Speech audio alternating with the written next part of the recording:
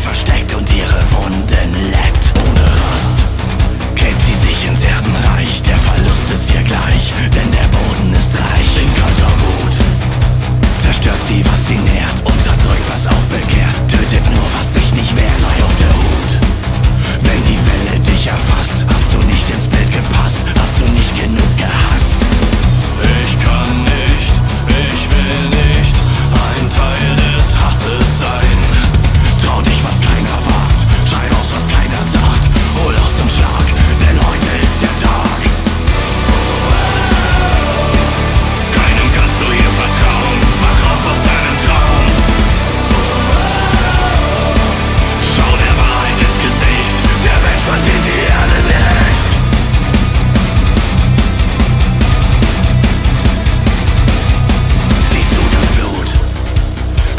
die Täler fließt, wo sonst das Leben sprießt und sich ins Meer ergießt. Tötet die